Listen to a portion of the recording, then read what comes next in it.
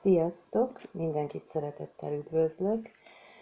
Ö, ma egy nagyon gyors és nagyon finom receptet mutatnék be nektek. Ö, igazából ilyen pizzaszerű, de hát mégsem pizza, mert nem úgy készült a tésztája, hanem krumpliból, reszelt krumpliból, sárgarépa, lila hagyma és különböző finomságok. Még mindjárt elmondom a receptet. Nagyon gyors, nagyon egyszerű, nagyon finom, jó ízű. Már egy szeletet levágtam a kislányomnak, hogy azért lehet látni, hogy sonka is van egyébként rajta, felturboztam.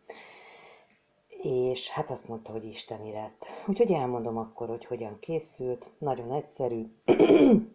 Bocsánatot kérek egy két nagyobb krumplit lereszeltem, utána hideg vízbe töntöttem rá, hagytam egy olyan 15-20 percig állni benne, addig egy jó nagy sárgarépát szintén lereszeltem, egy egész lila hagymát fölvágtam, és két gereszt fokhagymát szintén lereszeltem.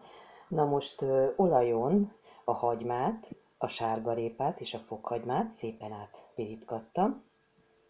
Utána csináltam egy olyan masszát, amibe került három tojás, egész tojás, azt kikevertem, sóztam, borsóztam, utána felöntöttem egy pohár tejjel, és került bele egy olyan körülbelül 200 g liszt, és akkor ezt szépen csomómentesen kevergettem, ennek egy ilyen, tehát addig kell keverni, adagolni, ha kell még esetleg egy kis liszt, tehát olyan palacsinta tészta állagot kapjunk, és akkor azt már mondtam, hogy sóztam, borsóztam, és akkor került még bele zöldfűszer, pontosan bazsalikom, petrezselyem, oregano, aztán ezt a massz, ja, utána a krumplit természetesen kinyomkodtam a vízből, áttettem egy másik vájlingba, belekerült ez, amit már lepirítottam, sárgarépa, lila hagyma, fokhagyma, és akkor összekevertem,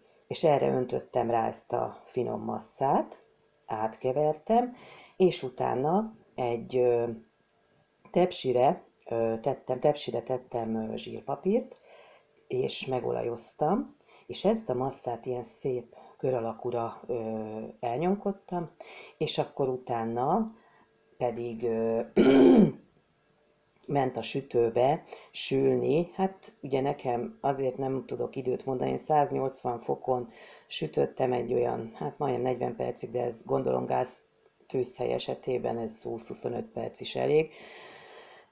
Utána, amikor így kész lett, összeállt ez az egész finom massza, akkor kivettem, kentem rá egy kis paradicsompürét, nagyon-nagyon finom ö, sonkát felkockáztam, ugye megszórtam vele, került rá, mint látjátok, paradicsom fölkarikázva, paradicsomot még egy kis oregánóval megszórtam, mert utána a tetejére jött a reszelt mozzarella sajt, és akkor még visszament egy olyan 15 percnyi, hogy rásüljön a sütőbe, és igazából ennyi. Hagytam kihűlni, és most már szépen lehetett szelegetni. Mondom, kislányom már evett egy szeletet, azt mondta, nagyon finom. Úgyhogy gondoltam, hogy ezt a érdekes kis receptet is megmutatom. Nem tudom, milyen nevet adnék neki, mert ugye nem pizza, de kicsit az ízek azért ott vannak. Krumpliból, krum, hát ilyen krumpli, krumplis tészt alapú pizza nem tudom, de nagyon-nagyon finom, úgyhogy szerintem érdemes ezt is kipróbálni, szeretettel ajánlom nektek, és mindenkinek további nagyon szép napot kívánok, vigyázzatok magatokra, sziasztok!